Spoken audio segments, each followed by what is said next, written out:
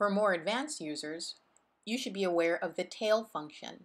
This allows you to see the output of any log as data comes in and goes out.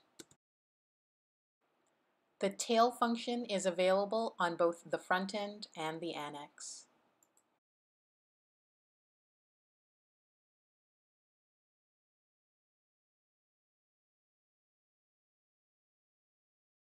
Sometimes your annex gets borked. Cd into lib annex and run reset.sh.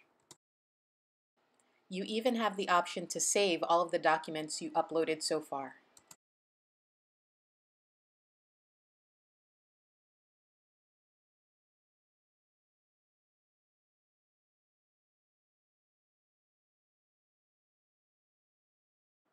Code for both of these packages are up on GitHub, along with more detailed instructions. If you find a bug or have a feature request, feel free to open an issue. The code to all of the tasks are also available as gists on GitHub.